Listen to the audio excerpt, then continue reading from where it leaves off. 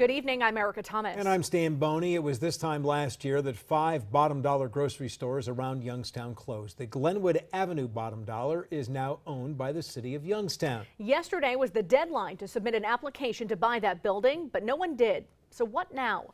27 First News reporter Tyler Trill is in the studio with what the city has planned. It's our top story at 11. Good evening, Stan and Erica. Last month, the city gave tours of the building to potential buyers, but that was not enough to receive a bid. Now the city is extending the deadline. Closed doors and an empty parking lot will remain the site at 2649 Glenwood Avenue. After receiving no bids from potential buyers of the building, the city is extending the bidding deadline until March 2nd. Um, it was disappointing that we didn't receive any proposals. Uh, we did have some conversations with interested parties, um, but the end result was that there were no actual proposals submitted.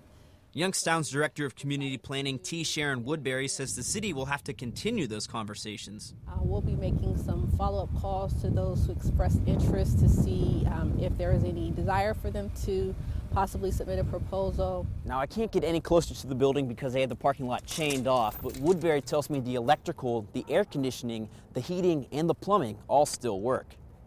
The building is only a few years old. From my view tonight, the outside remains intact, during the tour in January, we saw grocery signs still hanging throughout. That does not mean the future buyer has to use it for that purpose, though. We'll also be looking at other avenues to uh, promote the building in accepting proposals for something other than a grocery store. The building is valued at $1.5 million, but there is no minimum bidding price. Woodberry says they will be evalu evaluating the proposals based on many things. Some include what the buyer plans to use the building for, how it fits into the neighborhood, and how financially sounded the person is.